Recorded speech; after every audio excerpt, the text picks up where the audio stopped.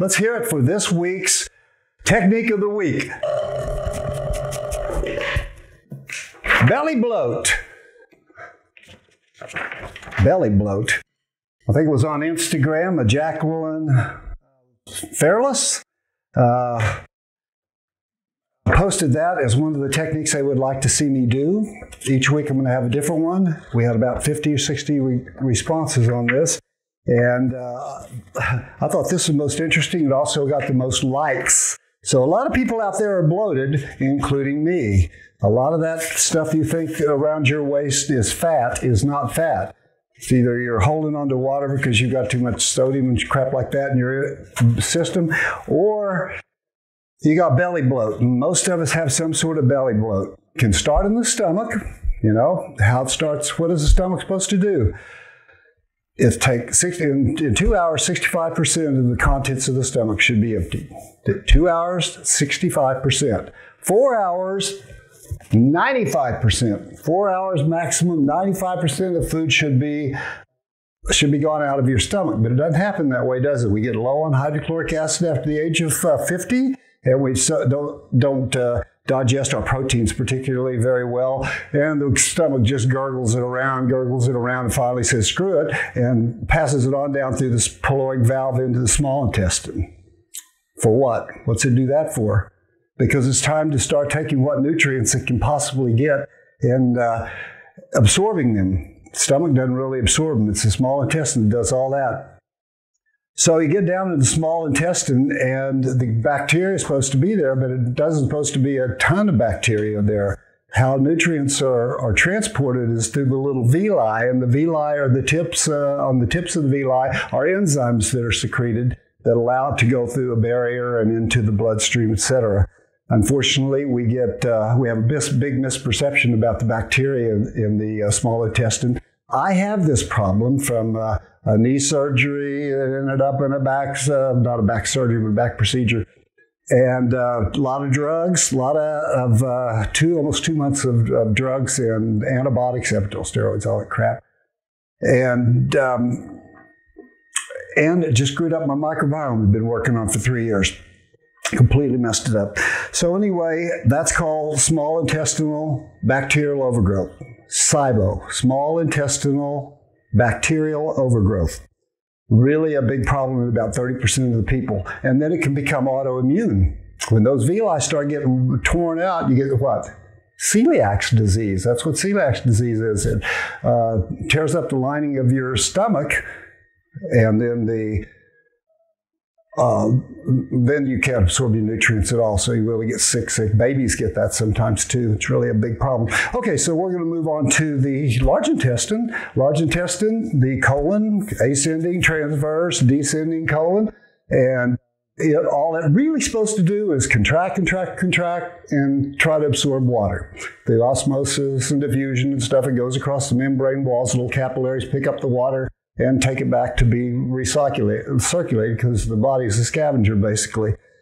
Problem with that is there are a whole bunch of tons of gases that get down there that also get absorbed. That's why some people, when I was working at the Health Institute of San Diego, people would do high enemas. And all of a sudden they come out, you know what? Every time I do one of those, my headache goes away.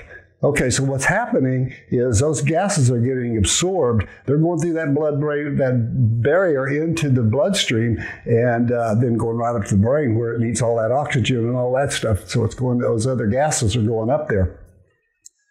So uh, why are we having gases there? Because the small intestine isn't doing its job. It cannot get all that, that the, the food processed, so it just says, okay, let's dump it on down into the large intestine. Large intestine uh, immediately, if it's particularly if it's carbohydrate, wants to get um, start digesting with the trillions of bacteria that are in the, the uh, large intestine, but they, it causes fermentation. And that's the gas that we smell. It's fermentation uh, is typically a large intestine uh, problem. It can be small intestine and it can be stomach. And the first technique that I'm going to show you today on my wife is a stomach technique. It's a, a technique to try to relieve some of the pressure up here. When that diaphragm gets tight, it keeps compressing it up. That dome keeps compressing it up, and we get bad news like all this crap that's going on now. Uh, you know, you open your American Express card, you you know, you're, you get stuck up here. You start getting stuck. That diaphragm, that dome gets stuck up there. So you got to get uh, a technique to help get relax that dome. We're going to do a couple of them. We're going to relate uh, the bloating to um, breathing. So the first part of this thing that I'm going to do today on my wife is going to be just for bloating. And and I'll talk about it as I go. And then the second part of this video, which will be next week, is going to be the relationship. I'll review bloating and then get into um, how breathing and bloating work together or against each other. Okay, for the belly work, my wife has volunteered since nobody else is around except Barb and me, the three of us in isolation here. So we're kind of a makeshift group. I'm going to bring in my wife and demonstrate some of these techniques on her. Come on in, Terry out of the kitchen and thank you, dear. She doesn't like to do these, but thank you. On your back. Say hi to everybody. Hi, everybody. Always put their knees up first. So we're going to start with the stomach, uh, small intestine, large intestine. What I like to do is get right here with my fingers. You see the xiphoid or xiphoid process here. I'm going to get my fingers in an vertical angle like that with it. So you can get right in there and dig the most, get the best hook right there, that high. So you come in, I always do this stuff through sheets or, you know, they're in their underwear. Typically, I leave the room to come in there in their underwear, but but, but they got, they're, they're draped. I don't do belly work unless they're draped. It's just a lot easier. People are more likely to get it if you're not looking at the belly. I don't want anybody at my. Okay, so I come in here like that, put a constant pressure, keeping your extensor muscles in your forearm firm. With anytime you're doing extended finger work, you've got to keep these forearm extensors firm because they will. The flexors always overpower the extensors, and if you've got that firm, then you've got a nice strong link all the way through your arm. So I'm just waiting uh, for the, a little bit of uh, tissue to do something. I'm going pretty much straight toward the table and a little bit toward the feet, just a little bit. And what I'm doing is, without telling her, obviously, is I'm just kind of letting her breath come into me, and then I'm resisting when she inhales. And then sometimes I'll take up the slack a little bit on exhalation, but I don't ever ask him to breathe because then it throws everything off. So here we go. So now I've got both braced fingers in there, just constant pressure toward the table. And of course, you always keep in contact with your client, partner, whatever. Is that pressure too much? Is that all right? That's fine. And you always, obviously, contraindication is a heavy pulse, which might be um, the aorta aortic artery aneurysm. Okay, so anyway, you just kind of come down here, and what we're doing is we're hooking, fascially kind of hooking through the neck of the stomach. Remember how the stomach comes down, then goes off to the side and around? That's because when you, you know, upside down, hanging upside down, that helps keep the hydrochloric acid out that little hook in the neck. And it doesn't have to be kept out by the lower esophageal sphincter. Okay, so we kind of just let this uh, come down. A lot of times you'll start feeling gurgling because you're also affecting the transverse colon. And then I come out really, really slowly. Sometimes I'll stay in there a lot longer. If there's firmness, if it's real firm in there, like I feel like all that gas is pushing up against the lower esophageal sphincter, causing some of what they think is GERD. What it really does is it just causes pressure to open and make those uh, sphincter muscles weak. And then it starts getting on the esophagus, and soon you could have Barrett's syndrome, which is a precursor to esophageal cancer. Or dentists will tell you that they have uh, people that are spewing hydrochloric acid. It turns out that it's being spewed in a gas form that lands in the teeth and rots the enamel on the gums. And so, an old chiropractic way of kind of pushing this down. A lot of you say, Why are you pushing this down? Gravity's already doing that all day. We're going to come back and push it back up the other way too. But right now, we're just looking for motility. We want to make sure that the motion, the peristaltic uh, motion through the uh, stomach, small intestine, large intestine, that it's getting through there as quickly as possible with as maximum absorption. So now I've just got basically using thenar eminence right in same place that I was a while ago, and I'm just using this one palm coming anteriorly, or actually toward the table and a little bit toward the feet, but now a little bit more toward the feet.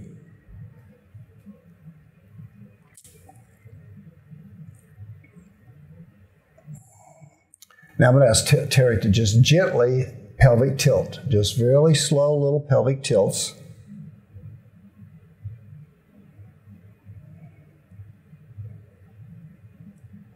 That helps. Okay, so stop. So now we've got the what we're going to do to the stomach, and now we have to look at the um, at kind of opening up the, these sides to get some motility in uh, with the, you know the liver and gallbladder on this side and and uh, spleen, pancreas, all that stuff. But this is not visceral. We're not doing visceral work, anything like that. All this is is just to try to improve motility, moving the, the, the waste through the, the, the, body without forming so much gas, the gas pains that people have during the day, at night, after meals. So you take the big web like this and put it right around the here's where I'm going. See how that fits? And then we're going to come down in a minute and do the pelvis. Same thing. See how that fits? So I'm going to start here. I get my body weight low, center of gravity low, whatever, and then just kind of hook around. Be sure you're not on the, the 11th or 12th rib. You know, they don't anchor to the front, but to make sure that thumb back there in the back isn't got pushing on the 11th or 12th rib. So I, I know people who do that. And I'm just, I'm, I would be holding this longer, but I just kind of wait for release, wait for, for some stuff to just kind of start moving around. There. When I say release, I really don't know what I mean by release. I think it's just the brain going, okay, I accept that. That that touch doesn't feel threatening anymore. Yep. And the more you do this, more when people come in with sessions and, and you do this and then teach them, what I'm going to show you, some of the routines that I show you for self care. You'll come in here and the brain will go, go for it, dude. You know, it's already trust you. It's already built in. The brain's constantly predicting what the next motion is going to be, and they've already predicted that this is safe. The amygdala goes, hey, that's cool. Hippocampus remembers it. Okay, so I'm coming out of here, and I'm going to come down here. Around the hip, same thing. Left hand now, hooking and get my body weight down, whatever's comfortable, just leaning in a little bit.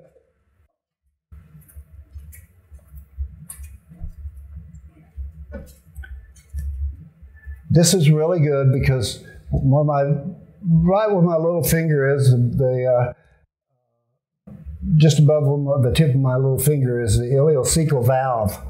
And that is a problem too. A lot of times people get, uh, including I think this one, what happened to me, get a SIBO, small intestinal bacterial overgrowth, from that ileocecal valve being weak and allowing the trillions of bacteria to move into another neighborhood. They're in the wrong neighborhood. They're not bad bacteria. They're, they're, they're in the small intestine. They belong down here, but that ileocecal valve allows them to come up. I hang, I do inversion every day, upside down uh, hanging up uh, upside down every day, and I think I may have caused some of that problem too. Either that or uh, hundreds of high colonics at the Health Institute San Diego. Okay, so I would go to um, the opposite side and do the same thing there. But the most important thing is down here at the pubis. So you've got to talk to your person, uh, ask, tell them what you, you want to do, and do you, are they cool with it? Because hand placement, it's the palm of the hand placement that's important. So I said, Terry, I said, okay, I'm just what I'm going to do is I'm going to come up here on your belly and I'm just going to butt down until I hit that bone. And don't be real delicate about it because if you're real delicate, they go, oh, yeah, what's he feeling for? Come right down and butt up on that, the pubic bone, the top of the pubic bone with this right here, you know, and then you go straight toward the table, gently, straight toward the table. You do not go headward on this. You want to hook as much stuff as possible. Gravity is always pulling this stuff down into the damp floor of the pelvis, and women get a lot of uh, inter and extracystial cystitis, bacteria growing on the inside and outside. You know, it loves to grow down there in that moist, damp environment of the pelvic floor. You got colon that's prolapsed through these flexures. The ascending colon comes up. You got your flexor here. Then you got your colon sitting like that. And then you got your other flexor. Instead of dropping down, the colon flaps over on itself. And these two guys get stuck. And that's why all your cancer is over here. It's rot by the time it gets over here. In most people. And so now I start dragging this stuff headward a little bit now that I got some kind of hook. And I'm always keeping in touch, making sure that's okay, hon. You cool? Yeah. So I come out real slowly.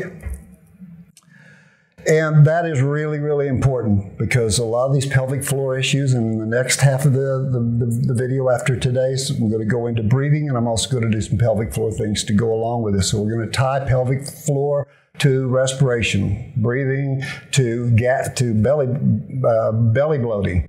I tell you what, you'll have you'll have clients, patients for life if you learn how to get rid of belly bloating. When somebody at a party or one of your family members party as if um, is hurting in the stomach, get them on their get them on their back like this with knees up. Got to have the knees up, and then do nothing more than just hold this right here, pushing that belly down, and you'll be surprised how many stomach aches go right away. You know, I mean, GERD is one thing, and it exists, but a lot of why GERD exists because that pressure coming from all those gases all the way through the system. I forgot to do one of the uh, most important of the belly routines and one that's tolerated best by uh, most people. And that is when you have them side lying, knees bent, and you come under. So you're at descending colon. If, you're, they're lying on their left side, you're at descending colon. Get your fingertips under, and then just kind of get a lunge stance, and then just kind of move back and forth. And you kind of get in a rhythm because it starts getting well stimulates the some of those dead nerves that are uh, you know the that uh, are causing weak peristaltic action. You know, uh, can vagus nerve, obviously, we know all about the vagus nerve, but there's a lot of other nerves that can cause uh, the peristaltic action. A lot of drugs uh, cause lo- lo- lo- loss of peristaltic action. That's too bad. So, anyway, you're going to do this on both sides, but come in all the way from the the ASIS here on front, all the way up to as much as you can on the rib cage, and then just pull the, the colon toward you. Always pull it toward the midline, and just think, you know, this isn't just something you're trying to release. You're trying to move stuff. You're trying to get uh, the, the brain to be aware how important the movement through here is. People sit too long and they lose that ability. Okay, thanks again. Bye.